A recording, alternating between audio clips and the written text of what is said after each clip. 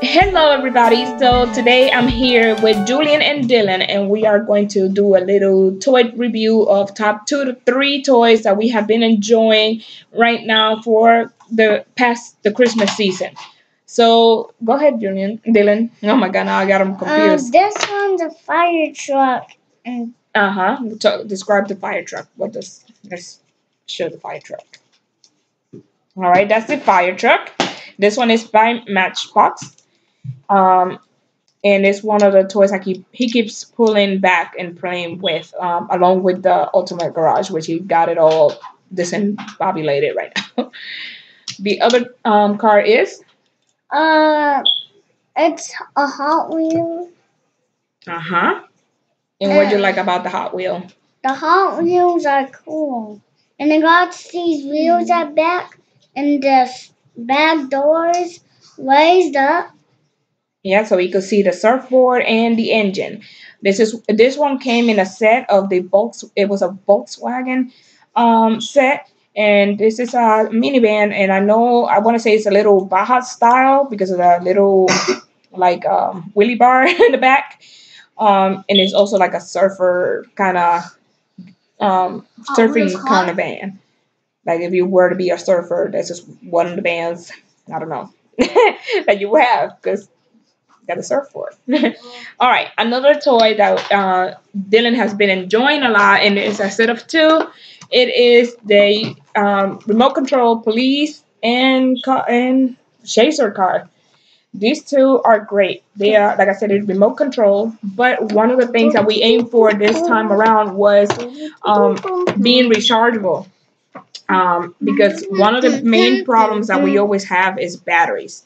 So this baby, we could charge it up and then be ready to go. And he could go ahead and play again with it without having any problems of we don't have any batteries. They ate through the batteries so fast that we got no car to play with. And then Dilan gets a little impatient and then starts running the car like a regular, like it is a car, and then end up breaking them. So this is one of those things that yes, we did good because uh, plenty of hours of play, and we don't have to worry about it's copied um, losing out of, of battery. game. All right, so let's go ahead now and get Julian to talk about his games because Julian is uh, while Dilan is a more of a manual gamer. Julian is more of a visual effects gamer. So he got two game Dilan. He got two games that he want to talk about. He has go ahead. Ratchet and Clank for PS4. Alrighty. This is Ratchet and Clank, and this um, game is a reanimation part for Charging. the movie. The, the movie came back out in 2016, and they, the movie, I guess, it was a success because I decided to do a game about it. And I guess it, it continues from where the movie left off, kind of, um, and it continues into the game. Uh, so far, I have seen that it's been pretty easy for Julian to play. Julian is six years old, so um, this game is uh, E10 and ten and up. And for him being six, he he has a good chance of playing with no problem.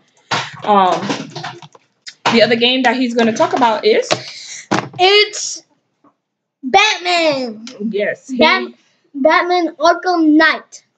Yep, Arkham Knight. This one was a used game that we got over, uh, I believe it was GameStop. GameStop. Uh huh. And um, this one, although is M for mature, he's done pretty good with it, and yes, he has he's playing a mature game. Yes, um, we kind of all play together because he in this areas like he can't read it, so we are there to help him. So usually my um, 13 year old and my 15 year old be trying to help him play this game. Um, it is a single player. Um, what else would you want to say about the game? You have to stop each and every bad guy from killing the good guys. Yeah, it's a very rough game, but so far the graphics are real, real good. Um, and I want to say it's it's pretty pretty challenging, but he he of makes it. So it's a good game.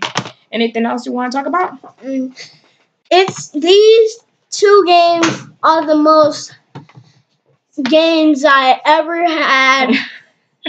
Most greatest games I ever had. Okay. It, uh huh. So what you're trying to say is that these two games are some of the best games that you have had. Yeah. Okay. Alrighty. So that's our little review of games and stuff that we have gotten for Christmas that we really enjoyed. And um, we'll see you next time. Bye.